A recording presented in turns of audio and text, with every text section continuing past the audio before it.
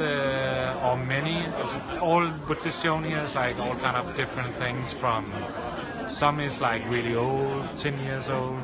Some is really new. So it's mega monster mixy maxi uh, of all kind of things and. Uh, so it was a little bit free. I couldn't really actually do what uh, what I wanted to do, but I thought it was maybe good to do a little bit of uh, some older stuff and show some stuff that I haven't shown here before.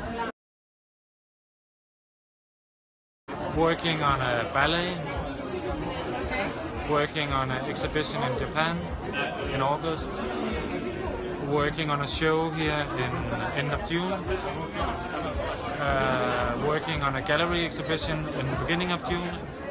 So now we can have a little break.